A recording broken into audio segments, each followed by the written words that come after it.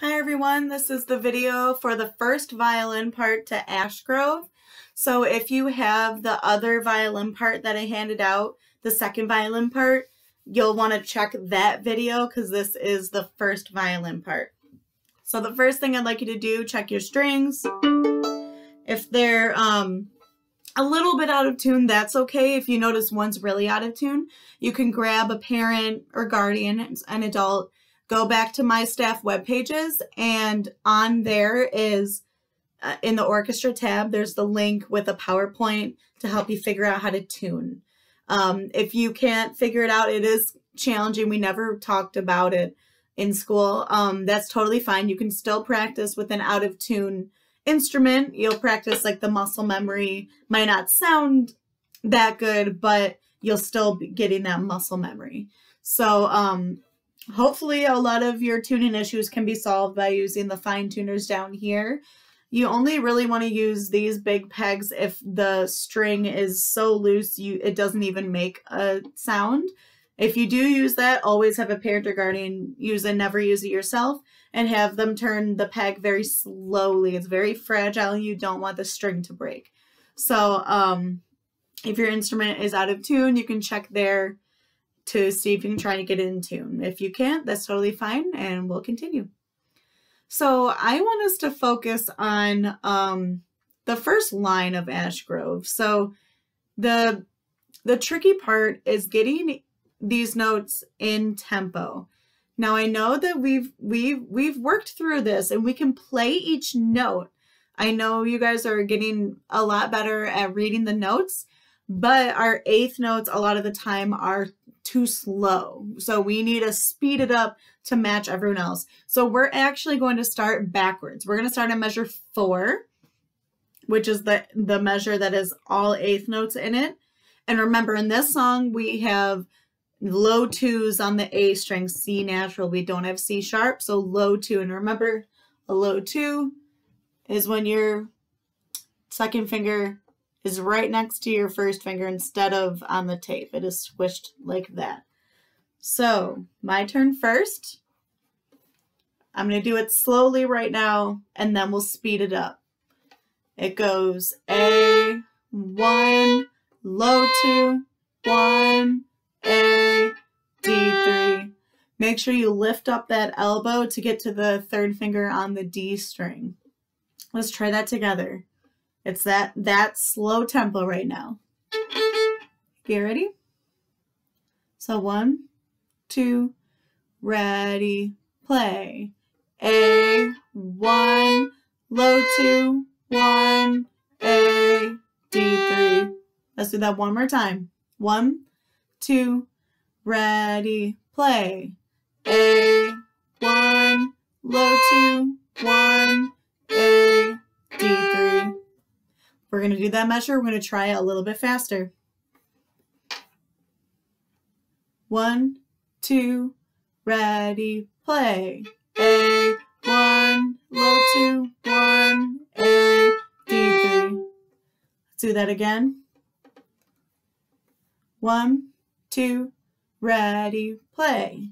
A, one, low two, one, A, D, three. We're going to go a little bit faster. I'm going to play the example first. So right now, just listen. I'll count myself in. Listen, you can move your fingers while I play. One and two and three and. We're going to try it at that tempo. One and two and three and. Can we do that again? Bow on A string. One and two and three and. So, pause this video, practice that on your own a couple times. So that tempo that we just played at, it will not be faster than that. This song is not a fast song. That is how fast you will have to play. So if you can get it up to that, you will be all set. We're going to add measure three to it. So we're going to play measures three and four. Notice measure three starts on an up bow, so you'll want to be closer to the tip. My turn first. One, two, three.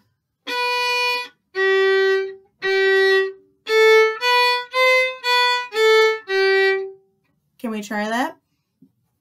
First finger on the A string, B, up bow. I'll count us in. One, ready, play. One, three, three, A, one, low two, one, A, three. Pause this video, play that by yourself. Okay, now we're going to look at measure two by itself. This one has that slur in there, right? So a slur is two notes on one bow. In this case, two notes on one bow. My turn first. I want to just look at measure two. We start with down bow, three on D or G. Three, one, three, two. Look, I got all the way to my tip there. Watch my bow. The thing about slurs is you need a lot of the time, the more bow you use, the better the sound it will come out. Can we try measure two all together? Just measure two. Here we go. One, two, three, three, one, three, two. And remember low twos. Let's do it one more time. Three on D, down bow. One, two, three, three, one, Okay, let's add in our pickup note, our open D. So that is an up bow. Here we go. Open D. Just measure one and two only. I'll give us one, two, and then we come in.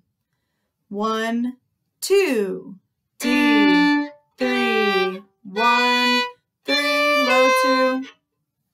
Okay, we're going to add measure three to that. Measures one, two, and three. Open D. One, two, sorry, I'll give you two beats.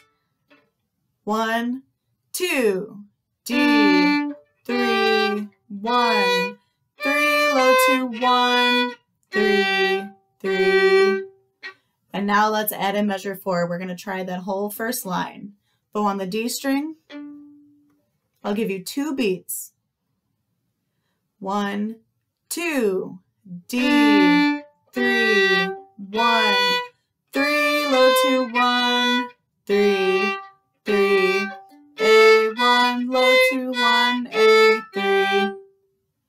All right, I'd like you to try playing that first line by yourself. All right, stay tuned for the next videos. Bye.